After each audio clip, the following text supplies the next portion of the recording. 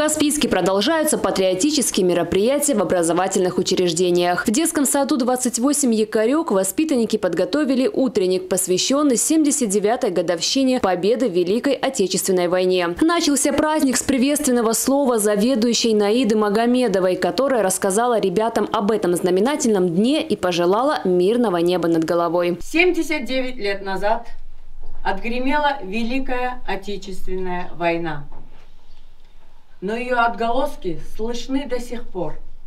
Нет ни одной семьи, которую бы она не обошла стороной.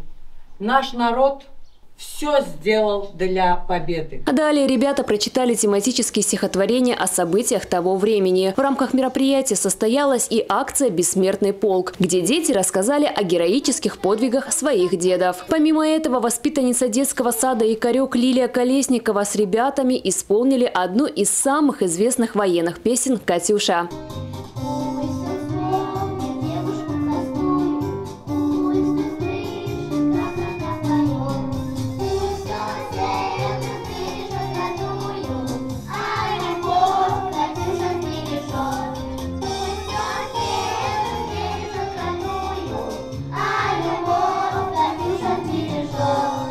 Организаторами был отмечен и женский подвиг во время Великой Отечественной войны. В различных родах войск служили 800 тысяч женщин. Они шли вместе с мужчинами плечом к плечу. Они сеяли, стирали, вытаскивали раненых из поля боя. Они по ночам стояли у станков, чтобы добыть эту победу. А война не выбирает пол, жерновами мелит без разбора и не собирает круглый стол для душевного лескового разговора.